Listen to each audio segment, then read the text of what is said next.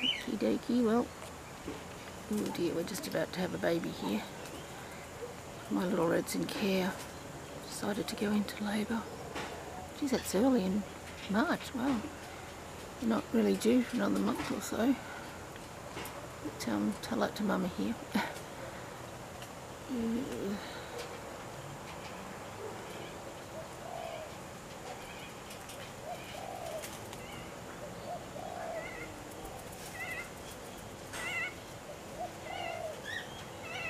Baby's opening its eyes.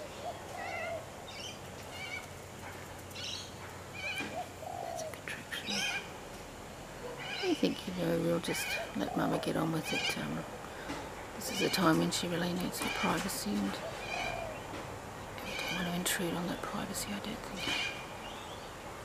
Except it is afternoon and I have to start feeding the rest of the inhabitants of the rehab cage, so we'll just sort of give her a wide berth and um, until she's um, produced that ginormous baby.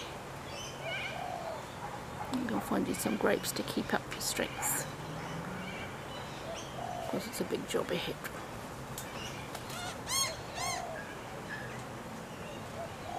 Mm. Oh dear.